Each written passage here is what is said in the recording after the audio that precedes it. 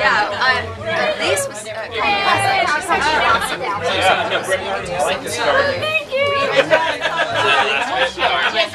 No, no, no. I don't know. Oh, hey, uh, before you go. Oh. Got you there, buddy.